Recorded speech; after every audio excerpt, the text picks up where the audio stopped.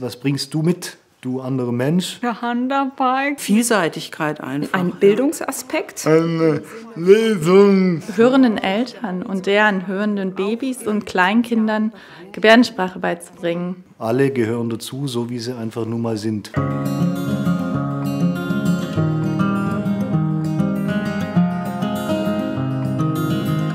Mein Name ist Sebastian Vogel. Ich bin Projektleiter für das Projekt Erwachsenenbildung barrierefrei auf dem Weg zur Volkshochschule für alle im Dreisamtal.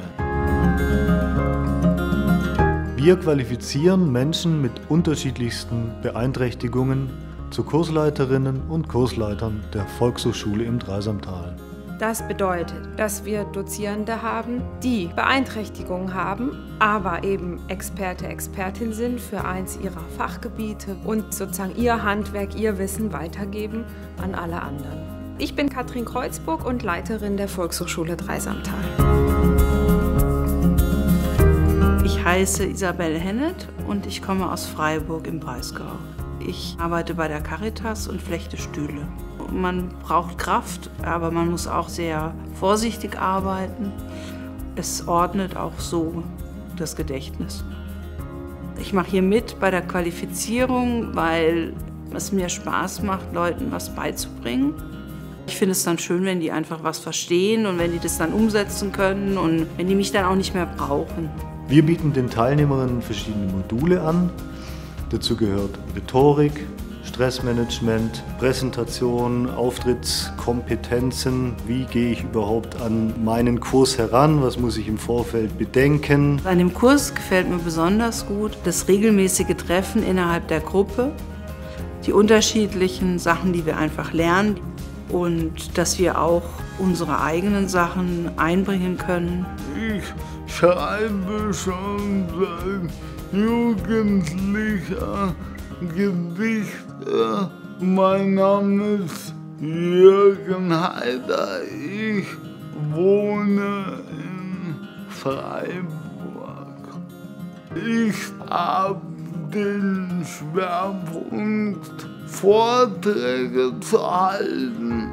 Wenn dann zehn Leute sitzen und die haben das verstanden, dann hast du alles richtig gemacht. Mein Name ist Stefanie Mündelmör. Ich bin geboren in Kanada und da auch aufgewachsen. Dann nach Deutschland gezogen und wohne jetzt in der Nähe in Oberried hier, in der Nähe von Kirchzarten. Mein Wunsch und Ziel besteht darin, hörenden Eltern und deren hörenden Babys und Kleinkindern Gebärdensprache beizubringen. Denn Babys können durchaus schon gebärden, bevor sie mit dem Sprechen beginnen. Wir fragen dann nicht ähm, praktisch, geht das, geht das nicht, sondern wir gehen davon aus, es geht. Wir schauen, dass eben alles da ist, räumlich oder auch technisch, damit es eben gelingt. Und sie auch sich so wohl und sicher fühlt, damit sie dann als Kursleiterin diesen Kurs auch umsetzen kann. Wir können unsere Fähigkeiten zeigen. Auch da, wo bei vielen Lehrenden noch andere Meinungen bestehen, können wir beweisen, dass wir alles schaffen können. Ich bin Daniela Zoller und ich komme aus Endingen. Ich habe mit elf angefangen mit Klüpple. Das ist eine Handarbeit wie Stricke und Häkle, nur wegen feiner. Also man kann mitmachen, Deckel oder Spitze.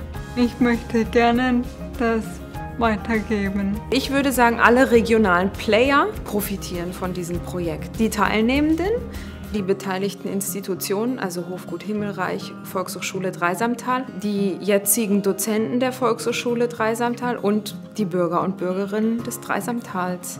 Der Kurs bringt mir persönlich auch was.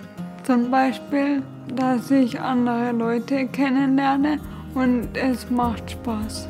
Außerdem kriege ich gute Ideen für meinen Kurs. Das Ziel dieser Kurse ist, die Teilnehmenden in ihrer Selbstkompetenz zu stärken, damit sie als Kursleitende wettbewerbsfähig werden. Damit ist eigentlich der Mehrwert für alle schon gesagt. Das Projekt hat gesellschaftliche Relevanz, weil wir als Volkshochschule mit dem Hofgut Himmelreich jetzt einfach was ausprobieren, was meines Wissens noch keine andere Volkshochschule in ganz Deutschland ausprobiert hat. Also es ist wirklich ein Modellprojekt.